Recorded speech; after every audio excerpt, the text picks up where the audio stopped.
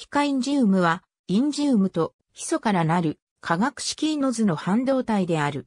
有点摂氏942度の灰色の立方章を形成する。ヒカインジウムは波長が1から3.8マイクロメートルの赤外線、検出器の製造に用いられる。この検出器は太陽光発電のフォトダイオードである。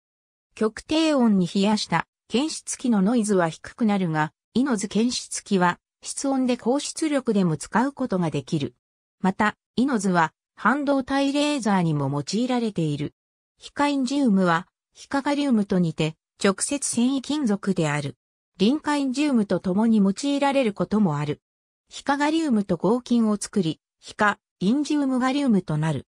バンドギャップは、インが火に依存し、チッカインジウムとチッカガリウムからチッカインジウムガリウムの合金を作るのと同じ方法で作られる。ヒカインジウムは電子の高い運動性と狭いエネルギーバンドギャップで知られている。テラヘルツの放射源として広く用いられている。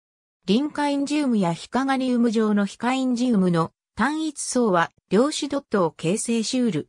素材の高指定数のミスマッチが表面の層に緊張を作り出し、これが量子ドットを作り出す。ヒカ、インジウムガリウム中でも、ヒカ、ガリウムマトリックス中のヒカインジウムのドットとして、量子ドットが形成される。ありがとうございます。